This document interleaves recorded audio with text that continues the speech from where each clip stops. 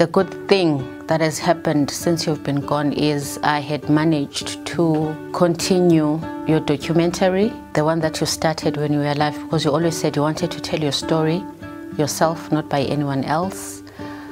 Even though I did not get any funding, I had to use my own finances, but we did push. Um, it came out, it's beautiful. But kuneyinkinga there and there, and I'm praying that uzosilwela mbomvu and um, kuzolunga.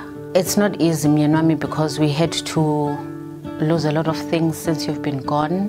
Ingane, um, they're still not coping. I'm not coping.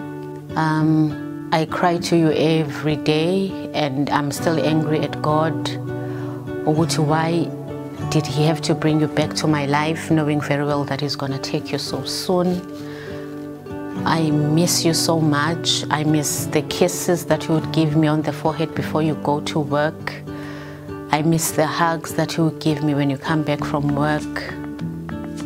I miss you calling me Dali.